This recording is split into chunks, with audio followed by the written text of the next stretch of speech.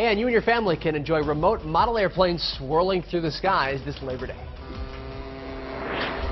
Starting at 9 this morning, model airplane lovers, including myself, can uh, come out here and fly some model planes. Now, people from around the area will gather here at Flight Masters Field for some high-flying tricks and races from planes just like this one that I'm flying here, and it's all for a good cause. Now, the Fort Smith Flight Masters Model Airplane Club will host their annual Kenny Roberts Memorial Labor Day flying event today at F Flight Masters Field just off of Highway 22 in Barling. Now, several hundred people will be on hand to watch the contest, and it is free. But to fly your own model airplane, there's a $20 landing landing fee and proceeds from the memorial flying will go towards the Fort Chaffee, the, the sorry, the Chaffee Crossing Historic District. So I recommend you should come out and fly some planes live in Chaffee Crossing. Pedro Rivera, 4029 News. Pretty good tricks there, Pedro. Well, there's also going to be pizza and drinks available by donation.